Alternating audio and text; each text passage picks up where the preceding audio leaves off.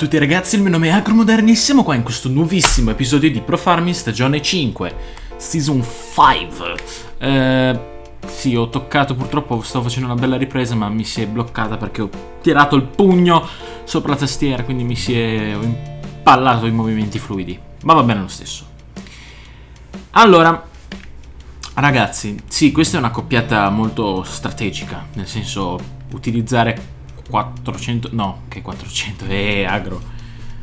Sono 500 cavalli? 565 cavalli con un attrezzo che ne richiede 100 e qualcosa. Molto intelligente agro. No ma aspetta mi sta facendo fuori tantissimi soldi perché ha finito le patate allora adesso arriva fino in fondo e cambiamo. In questo episodio come vedete dal thumbnail andremo ad imballare l'erba e poi pensavo ragazzi se vi va bene che il prossimo eh, cioè che il raccogliere le balle e portarle giù all'allevamento probabilmente lo farò off camera se per voi va bene. Questo perché eh, penso che ne abbiate già le balle piene delle balle agromoderni che fa i giochi di parole. Eh, quindi pensavo di farlo off camera se per voi va bene Fatemelo sapere con un commento. Non ho ancora letto tutti i messaggi dello scorso video perché adesso sto registrando, sono le 3 circa e il video è uscito alle 2 e mezza, quindi eh, non, ho, non, ci sono ancora tantissimi commenti, ce n'è uno o due. Quindi ancora niente. Eh, allora, in questo episodio come vi ho detto andremo ad imballare, così vi faccio anche vedere cosa succede se tentiamo di teletrasportare il, il case e poi volevo anche mm, rispondere a un paio di domandine prima di passare all'argomento principale, alla domanda di oggi. Allora, mi avete chiesto in tanti di iniziare le barbabietole, ma ragazzi ci vorrà un po' un attimo perché mi servono soldi. Vabbè, prima mentre ero off camera ho restituito il debito. Quindi... A posto. Se mi sentite fare rumori strani perché sono ancora in fase digeriamo il pranzo e quindi ogni tanto faccio anche i ruttini come i bei bambinelli. E, ehm, comunque, stavamo dicendo, prima di fare le barbabietole, ragazzi, ci vorrà un attimo. Perché la macchina per raccoglierle costa tanto e non ho molta voglia di utilizzare l'altra. Perché l'altra è un po' una rottura perché ci vuole tanto per raccogliere con l'altra macchina. Quella da staccare al trattore, quindi nada per adesso, poi magari farò più avanti, un, dopo magari dopo aver fatto un po' di silvicoltura, farò magari un video in cui sia raccolta di patate che raccolta di barbabietole la farò tutta manualmente, ma per adesso no. Quindi abbiamo bisogno di farci soldi, infatti penso che prima di iniziare la silvicoltura, dopo la... Eh, dopo la... La parte della fienagione che stiamo per finire, prossimo episodio la finiremo, la parte della fienagione, faremo che fare un, un episodio unico di nuovo di trinciato. Eh, trinceremo penso solo questi due campi, il resto che ho seminato a mais, cioè quel campo lì, eh, sarà adibito alla granella e basta. Altro non, non c'è da dire.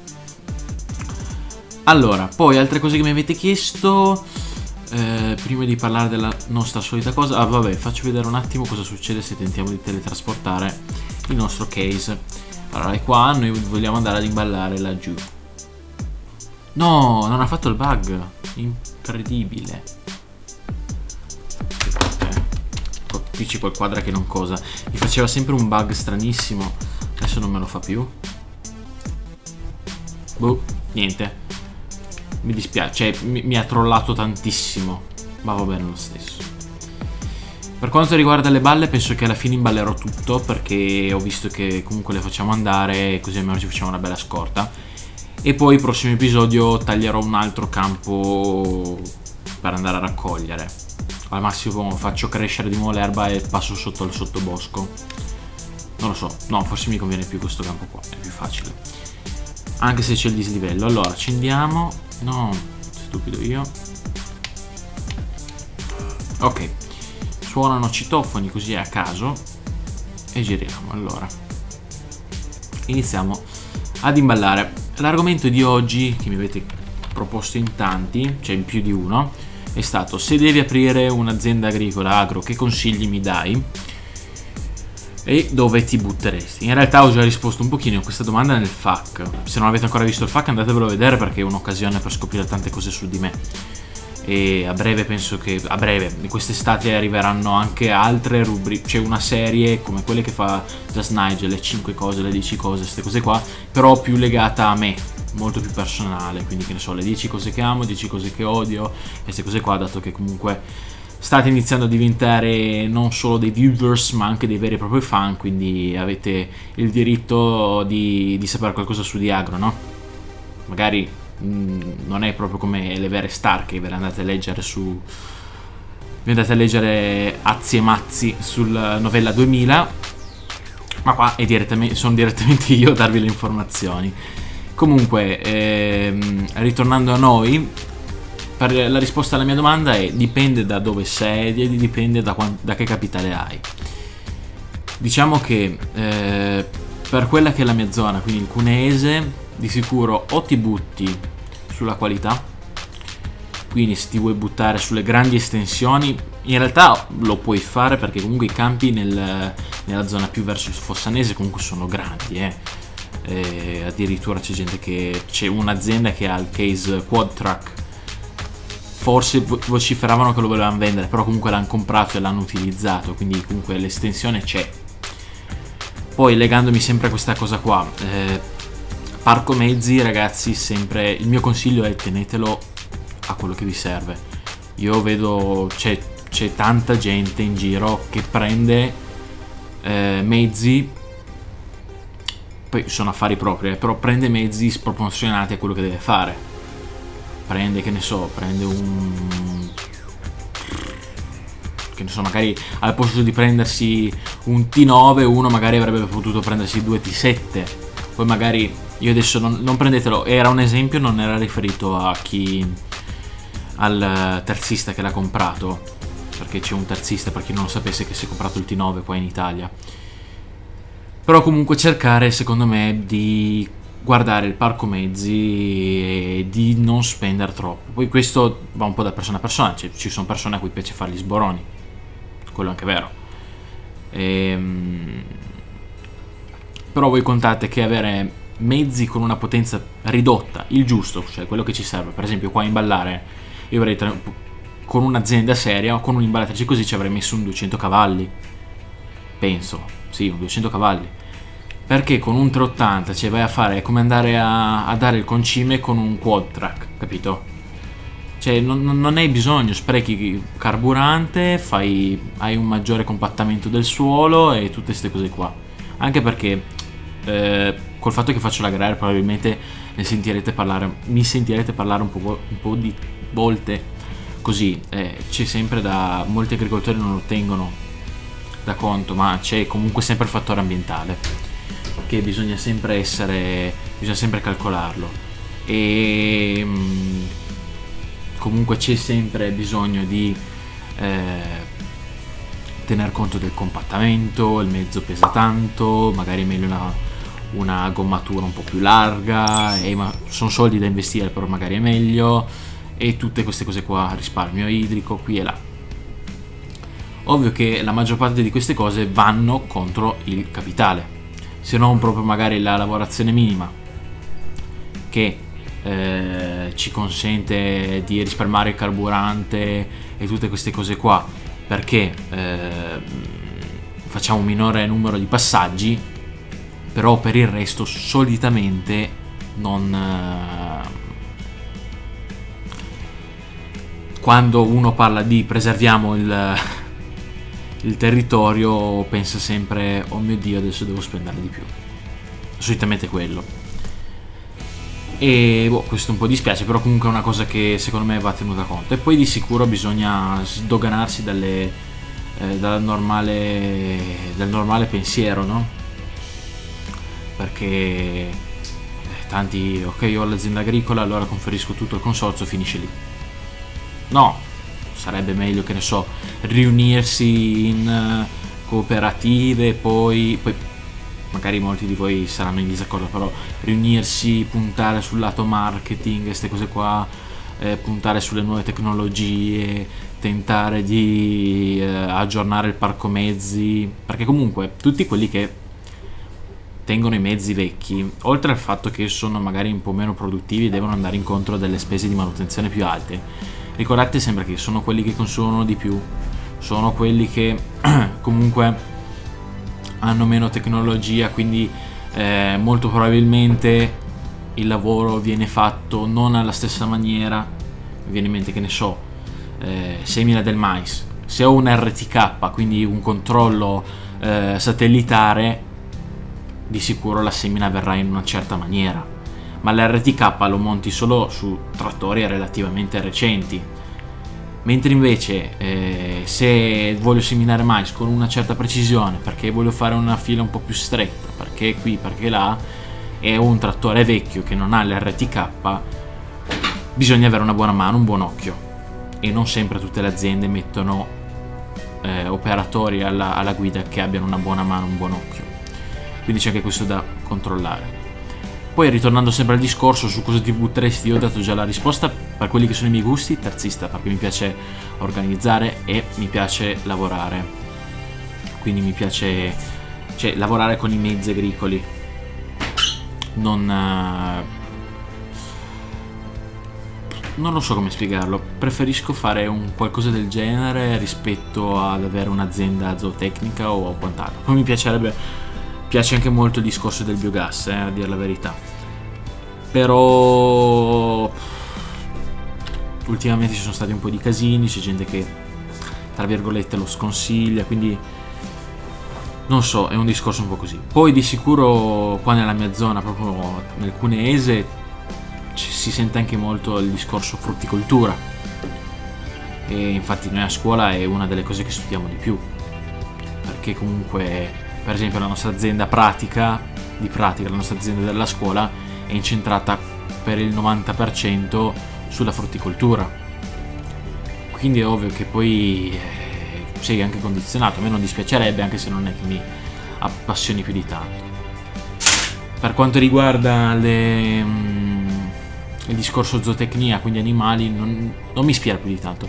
Preferisco più, cioè mi ispira molto di più il, il discorso, ok, allora mi, gli preparo il foraggio, gli prendo il foraggio, eh, distribuisco letame, queste cose qua, ma non tanto la gestione di una stalla, non so come mai. E consigli c'è, per adesso non saprei darvene, cioè va preso zona per zona d'Italia in esame, va, eh, va visto i contributi a cui puoi avere accesso, per esempio mi pare che adesso, per adesso l'Unione Europea dà mm, quasi 100.000 euro a ogni imprenditore agricolo sotto i 20 anni o forse fino ai 20 anni, non ricordo, e poi si scala comunque, eh, non è che finiscono lì i contributi. Quindi diciamo che c'è anche da valutare quello. E, è un discorso molto particolare, perché comunque è quasi come aprire un'industria aprire una nuova attività agricola. È sempre un'attività, quindi ci vuole un studio, cioè non è una domanda facile a cui rispondere. Più o meno le mie indicazioni sono questi, i miei consigli.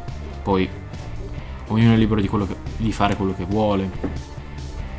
Conosco molti che comunque eh, preferiscono rimanere con i loro trattori anni 90, produrre di meno, eh, ma così non hanno da spendere nuovi mezzi. Prendono magari anche un po' meno della PAC perché non attuano, che ne so, cultura biologica, queste cose qua. Ah, ecco, poi quello è anche un altro discorso che mi avete chiesto. Eh, la cultura... Eh, cos'è? La cultura biologica... La um, coltivazione biologica. Qua nella zona ci sono tanti che... Cioè, ci sono tanti, iniziano ad aumentare quelli che la fanno. E um, il commento in questione diceva poi alla fine comunque non, non, eh, non serve a nulla Secondo me no, invece, perché comunque i controlli ci sono, checklist si fanno e tutte queste cose qua, quindi sono un po' in disaccordo nel, nel sentir dire che alla fine non, non, serve a nulla il biologico, che alla fine tutto quello che ci arriva poi è sempre molto simile al, al, al resto. Certo è che non possiamo pretendere che il biologico costi uguale al resto, perché ovviamente c'è un motivo se quel qualcosa è, biologico, cioè vuol dire avere solitamente una produzione minore, costi maggiori, quindi è normale che faccia, che ti facciano pagare il tutto un po' di più. Però anche quello è un bel discorso da tenere da conto, cioè comunque, come dicevo prima, puntare magari sulla qualità. Quindi cercare, ok, allora, cioè noi qua in Italia non è che ci possiamo permettere più di tanto di utilizzare tanto diserbante per poi far tanto raccolto, perché comunque le estensioni sono quelle che sono.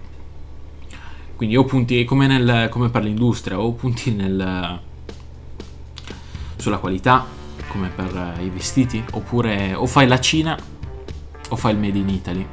Il problema è che qua in Italia, per quanto riguarda l'agricoltura, è, è, difficile fare come la Cina fa nel mondo industrializzato, perché comunque le estensioni sono quelle.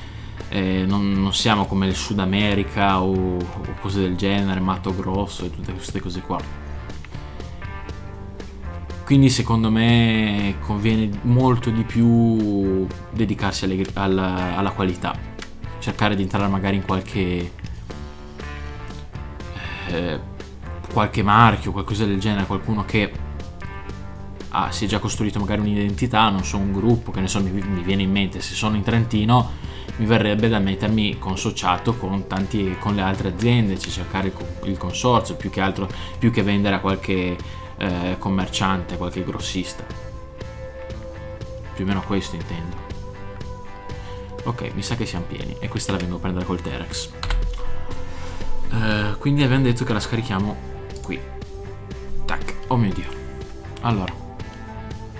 Però io la scaricherei qua fuori, poi me la vado a sistemare con calma.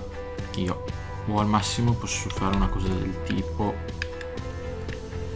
adesso giriamo allora, e poi altro, niente ragazzi, mm, altri consigli non mi vengono al momento in mente. Se avete qualche argomento in particolare da approfondire potete chiedermelo. Tenete conto che io sto studiando per per diventare perito agrario. Però comunque faccio terza, quindi eh, magari non venite proprio a chiedermi come migliorare la produzione queste cose qua perché lo sto facendo adesso quindi non vorrei ritrovarmi magari con domande troppo specifiche. Però se avete qualche domanda per l'ambito agricolo finché sono di questo tipo può, può starci anzi, anzi mi piace rispondere. Allora intanto con le mucche che laggano mi sembra che stiano laggando. Eh, non lo so. Da agromoderni tutto noi ci vediamo nel prossimo video. Come vi ha, ricor come vi ha ricordato il grande Steve Like Grabber lasciate un bel like. Io vedo di sistemare queste balle per la prossima puntata in cui raccoglieremo un po' tutta l'erba. La schedule è un po' sballata in questi giorni e probabilmente ve ne siete già accorti. Quindi, boh, era solo per dirvelo. Probabilmente non terrò un, uno schema preciso come vi ho spiegato nell'episodio di ieri. Non, non entrerà ancora in funzione quella rotazione lì. Ora, chiudo giusto in tempo perché qui qualcuno ha iniziato ad usare l'aspirapolvere a manetta, quindi col mio super microfono probabilmente si sentirebbe subito. Da Moderni è tutto, noi ci vediamo nel prossimo video, lasciate un bel like. Ciao a tutti ragazzi.